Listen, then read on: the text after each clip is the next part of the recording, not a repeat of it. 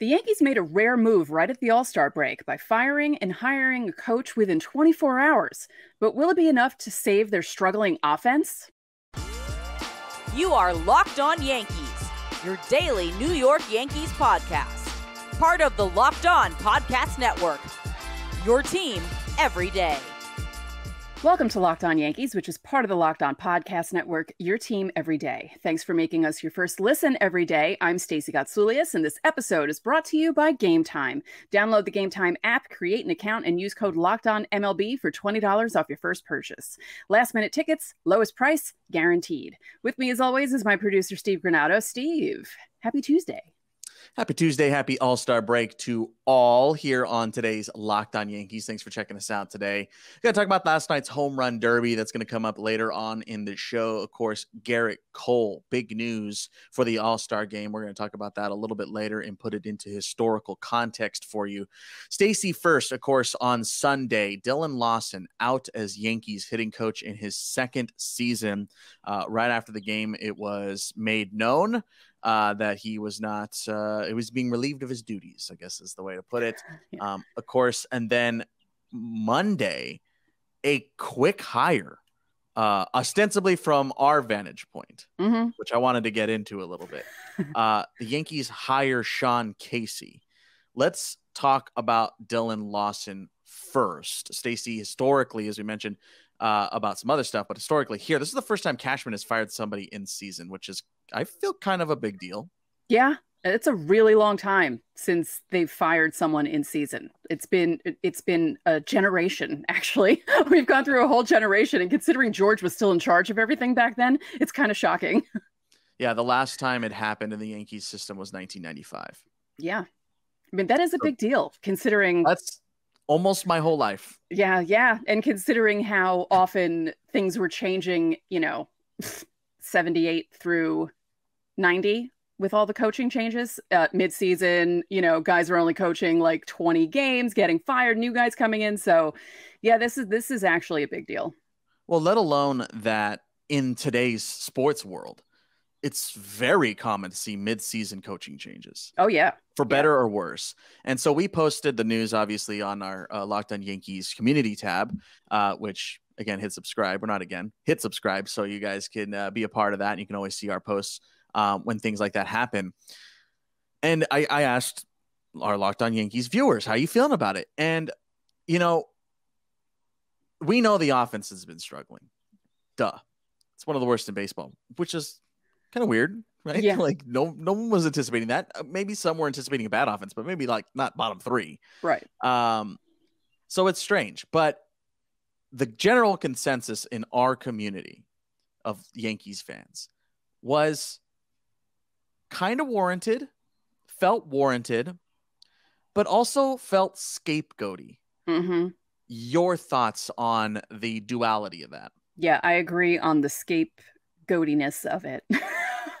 Is that a word? That's not a word, but I I agree with that assessment because it's it's not entirely his fault. These are baseball players. They've been playing baseball since they're kids and the problem isn't Dillon Lawson. The problem is roster construction, but he's the scapegoat.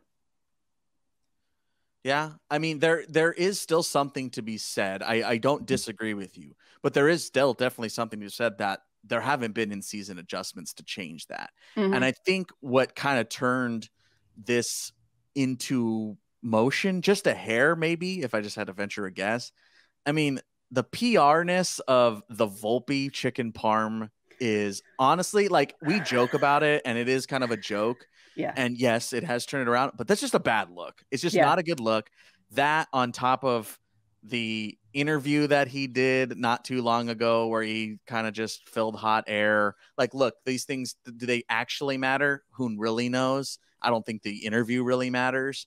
Uh, but it's just not a good look. Yeah. I think that that I'll say this much. It didn't help. Right.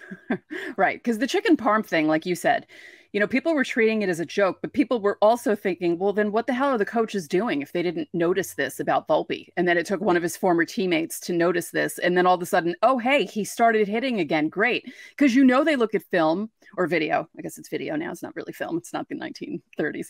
Um, they look at video. They they have their iPads. They try and figure out what's going on with these guys and how did they not notice that? But Austin Wells did.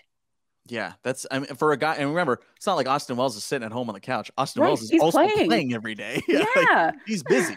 He's a busy guy. yeah. He's, he's worried about his own career. Um, so yeah, I mean, it doesn't help. Um, the Yankees hire Sean Casey. Sean Casey, uh, a great hitter in his day, uh, did not really hit for power in his career. Only like 130 homers in his career. Of course, he was with the Cincinnati Reds for a big chunk of it. Uh, he was teammates with Aaron Boone back then. Uh, he's a Reds Hall of Famer. He's been in a couple of Hall of Fames, not the Hall of Fame, but like he had a he had a good career. Like definitely was a good major league hitter. This is the first time he's coaching. Stacey, your thoughts on hiring Sean Casey? Well, I made the joke on Twitter. I said, yeah, well, it worked out well the first time they hired a coach with no experience coming from TV. Boone. Um, but Sean Casey was a good hitter. I was looking at his stats, and like you said, it wasn't a lot of power, but he got on base a lot, and his average was great. And I'm hoping that he can inject some sort of lightning into their bums at this point because we talk about it all the time. They got to get away from the trying to hit the five run homer philosophy. And in those few games where they did well and had those big innings and they were stringing together hits, it wasn't necessarily because of home runs. It was because of singles and doubles and just moving the line along. And they need to do that on a consistent basis. And they've proven that they can do it in some instances. So I'm hoping that he can help them find their way because this Well, team is not as bad as they're playing. They're not. Yes, I agree with you. I agree with you. Uh, the you mentioned the hitting philosophy. There was an interesting uh, part of this whole saga. This is coming from Andy Martino from SNY. I'm going to go ahead and leave the link to this uh, in the episode description about the Yankees hitting philosophy. In this article, he said, "quote In the immediate aftermath of the firing, the Yankees did not plan to alter the organizational hitting philosophy that Lawson summarized as quote." Hit strikes hard. In fact, the team is open to discussing with Lawson another role in the organization. That latter part doesn't matter much uh, as far as this conversation is concerned. It's a weird wrinkle. Just throwing that out there. yeah. Uh, but the the Yankees not planning to alter the organizational hitting philosophy, which you kind of mentioned there. The hit strikes hard, which in theory sounds good, but the Yankees hitting them hard maybe is leading to harder swings or you know whatever. There Right. should be a deeper study on that than just two people on a podcast on YouTube talking about it. But the the, the thoughts of that, Stacey, um, I kind of want to point this out. The Yankees are backwards in their numbers this season. Mhm. They are struggling against starters and doing better against relievers, which is the polar opposite of how this usually all goes, right? That's really strange. Um, when you look at the top offenses in baseball, you look at the Braves, you look at the Rangers, the Dodgers, uh, arguably the Angels a little bit until recently.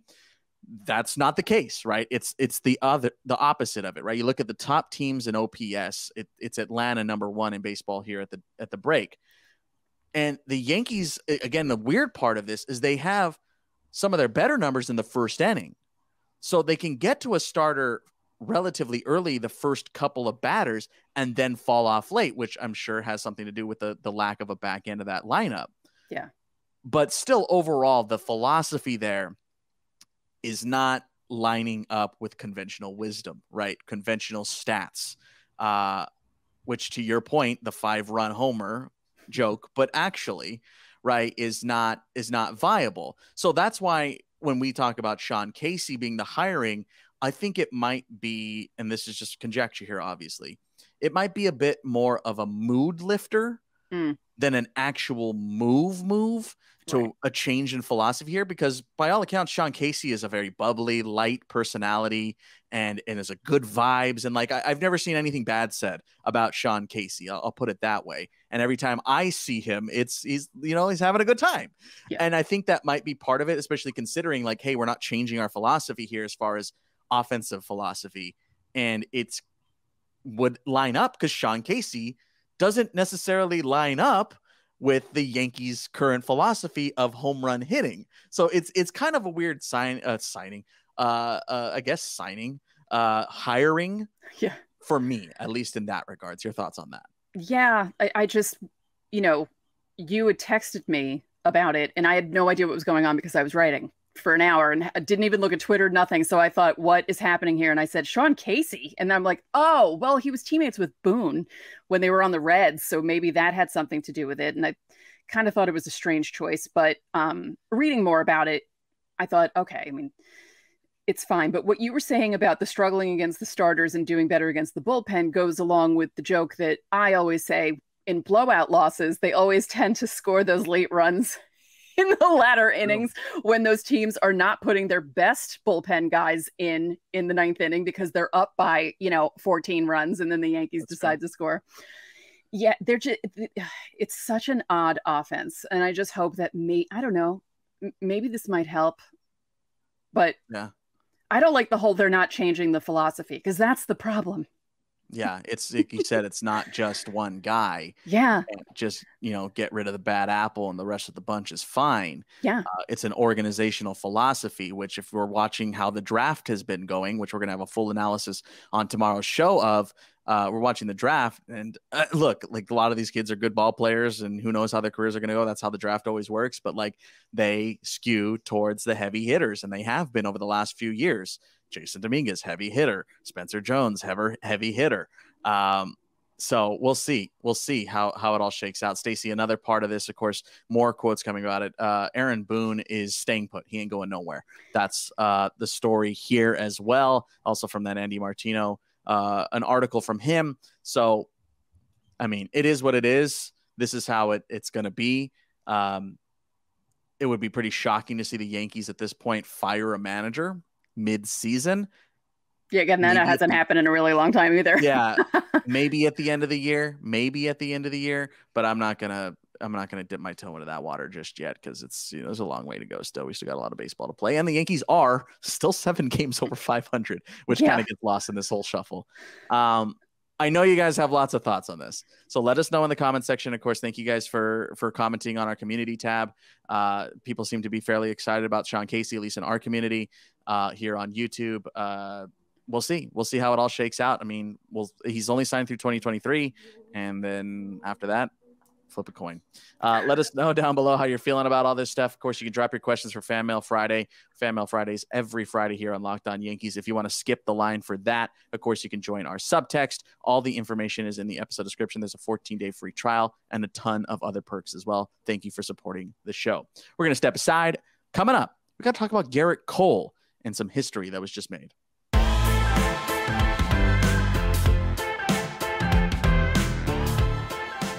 Buying tickets to your favorite events shouldn't be stressful. Game Time is the fast and easy way to buy tickets for all the music, sports, comedy, and theater near you.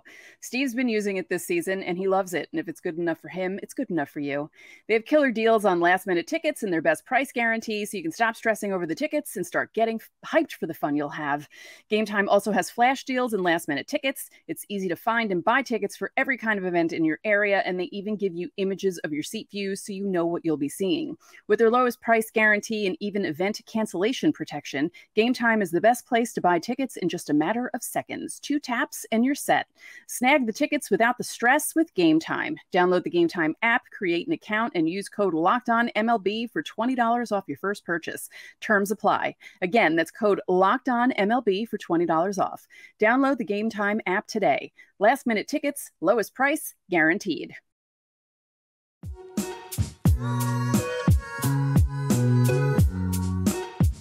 Stacey, to the everydayers out there, they already know. We just said it a second ago. Coming up on Wednesday, draft analysis. The Yankees will wrap up their draft today, final day of said draft, and uh, we got to talk about it. We already talked a little bit about it. We talked about the number one pick on yesterday's show, uh, the first round pick, I should say. Hmm. um, so more coming up. We're gonna have a full breakdown of what the Yankees ended up doing uh, in this draft. So you can make sure to hit subscribe for that. You can catch the whole season, by the way, on SiriusXM, including the All Star game, which is later on today. Stacey, in that All Star game, we're going to see something we have not seen in 22 years a Yankee on the mound to start. Gerrit Cole named the American League All Star starter.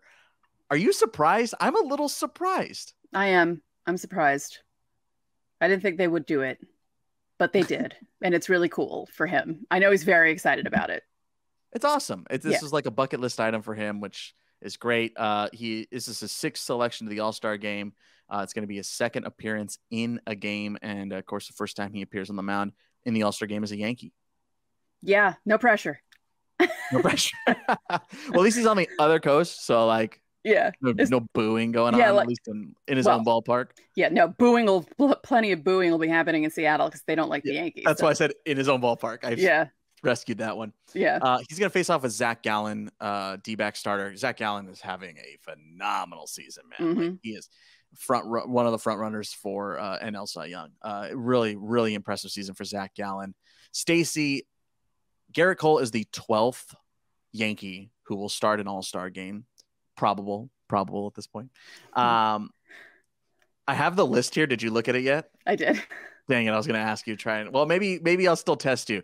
Who was the first ever Yankee to start start an All Star game without you Damn it. looking at it? Don't look. I'm looking at your eyes. I can see your eyes. Damn it! No, First um, first ever I- Yankee to start an All Star game. I don't think I would have known that. I don't think I would have known it. It's Lefty Gomez, but I don't think I would have known that. I would have assumed it would have been someone else before that. Lefty Gomez started six straight All Star games. Um, 1933, the first one ever, not just the Yankee starter, first All Star game ever. Lefty Gomez was on the mound.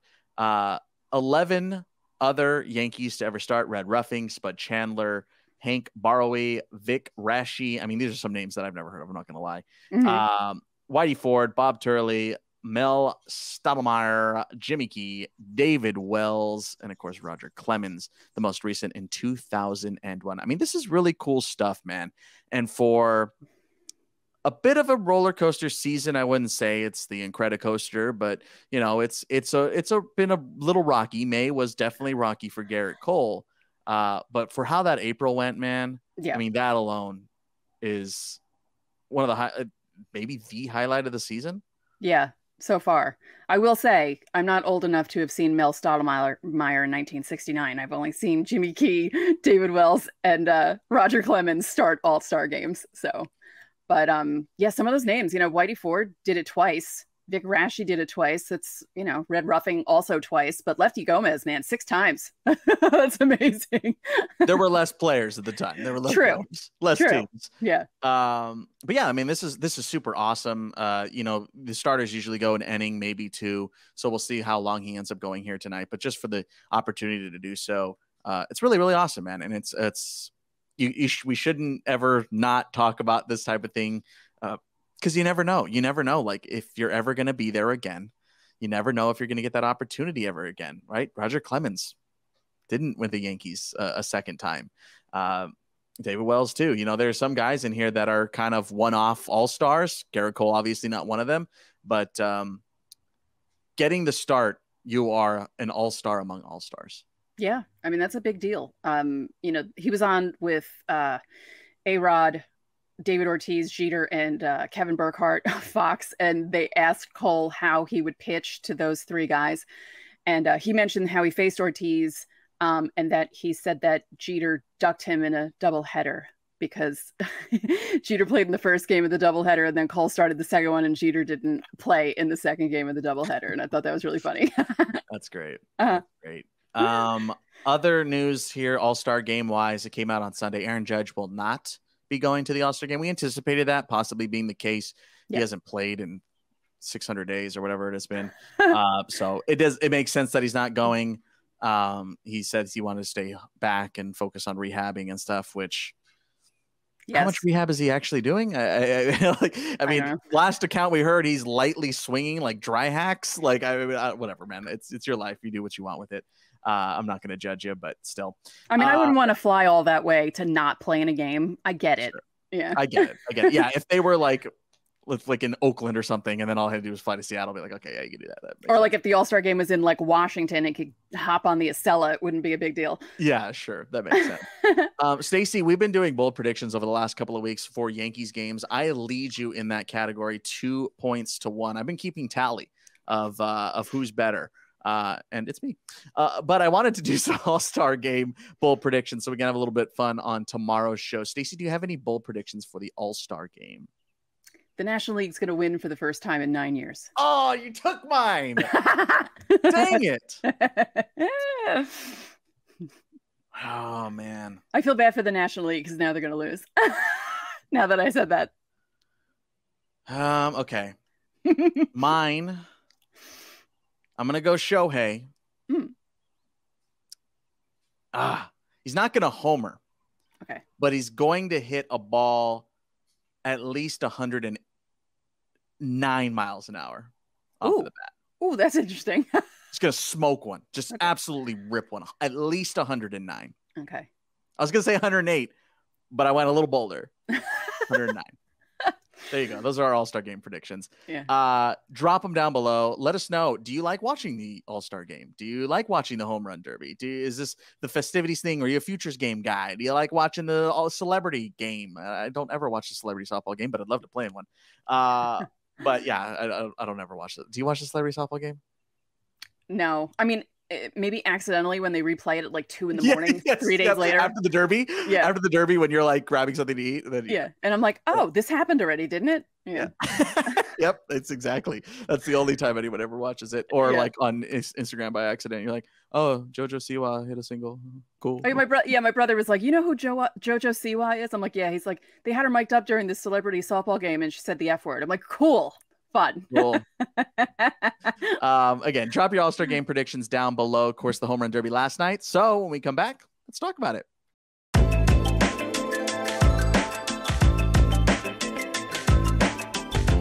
This episode is brought to you by BetterHelp. Therapy is all about deepening your self awareness and understanding because sometimes we don't know what we want or why we react the way we do until we talk through things. BetterHelp connects you with a licensed therapist who can take you on that journey of self discovery from wherever you are. If you're thinking of starting therapy, give BetterHelp a try. It's entirely online, designed to be convenient, flexible, and suited to your schedule. Just fill out a brief questionnaire to get matched with a licensed therapist, and you can switch therapists at any time for no additional cost. Find more balance with BetterHelp. Visit betterhelp.com slash lockedonmlb today to get 10% off your first month. That's betterhelp, H-E-L-P dot com slash lockedonmlb.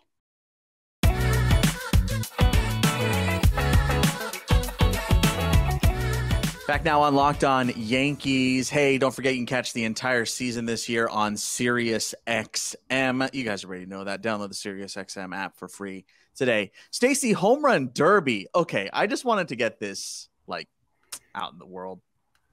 I think the home run derby is maybe the best thing Major League Baseball does. I think it is too, actually. I, I, I almost think they shouldn't even bother with the All Star game at this point because the home run derby is so much better. It really is. Like it's always uh, since they redid the format and everything. Like I loved it before, but it definitely was getting it gotten stale. Plus, it all always lasted like five hours in the old yeah, format. way too long. Yeah. Yes. And I mean, this like, I think, I mean, this one was another great one, right? I mean, like watching Adley swing switch was awesome. The AL East very well represented. uh, yeah. Very well represented. Yep. Um, yeah, I don't know. I just like, yeah, it- it's just like this one. I don't think it was like the best one over the last couple of years. I think the Harper one was great. yeah. The walk off for Harper was amazing. Uh, but I don't know, man. I just I, always like kind of forget about the Derby, and then the Derby shows up. I'm like, oh yeah, Derby's tonight, and then I watch the Derby. I'm like, God, that was awesome, man. That's so good every time. Which uh, broadcast did you watch? Because I watched the scat the Statcast one. Yeah, I did. Too. I yes, word to the wise. Watch the Statcast one. It is a hundred times better every time. Yep. I haven't watched the regular one in like three years. I watch the Stat, Statcast one every year now. Yeah, I love it because they show you the home run distance. They show you the angle of the ball going out, so you pretty much have an idea. Like it's a little bit behind the other broadcast, but that doesn't matter. And uh, yeah, it's just great. And woof, some of these guys um, really hit that ball hard. Like it was just, I mean, Luis Robert in that first round was just like Yeah, hanging around at like 110. yeah. I was like, holy cow. And like you said with Rutschman, that was great. And I was kind of hoping he'd switch. And when he did, I joked on Twitter because, you know, he hit 20 from the right side and seven from the left side in, you know, how many seconds, like a minute or se- how many seconds was it? And I was like, maybe he should have batted from the left side the whole time. But amazing first showing for him. And I want him in it every year. If he's going to do the switch thing, that is so cool. I uh, I thought he was going to switch at the timeout, but Yeah. Anyway, Mhm. uh, Julio first round forty one. This, so here's like the only like the if I can have one like, any gripe at all with the Derby, it's just that they get tired. yeah. That's the only problem with it. Yeah. So, I mean, I don't. If they don't change the format, I'm completely happy with it. I'm gonna watch it every single year. I'm gonna love it every single year.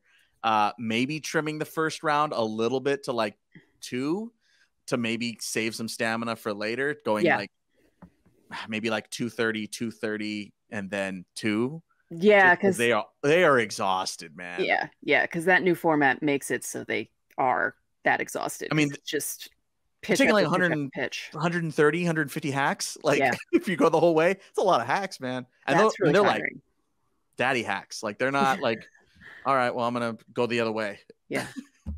Although I did, I did find uh, Mookie Betts slightly amusing, just because. Um, and I joked on Twitter. I said, you know, Mookie Betts was basically like, "It's an honor to be nominated." He was just like, "I'm happy to be here. This is great." Uh, But I'm, I'm Yeah. not. I have no shot right now, so I'm just gonna hit the ball. It's fine. I don't need to take a timeout. Whatever. I'm here. This is cool. And he was like soaking it in. Yeah. uh, I saw that he said that he felt he was done after five swings. Yeah. hey, Same, same bro. Same bro. I would. I Uh, don't even think I'd be able to take more than two swings. Really, jeez. I mean, God, uh, it's just so exhausting watching them. Yeah.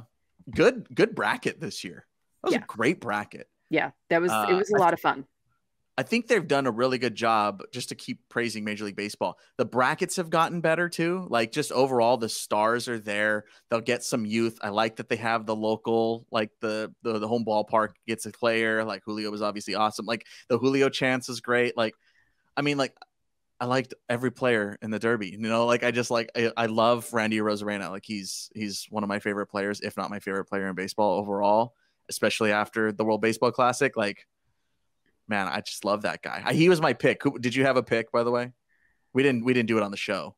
Oh, um, actually, yeah. Who did I think was going to win? Um, I thought Vlad Jr. was going to do it. Yeah, uh, Uh, Yeah, no, I no, I did. I just had a feeling because he hadn't. I don't know, and you know, he's been hitting home runs a little more frequently lately, and I just, I don't Yeah. know.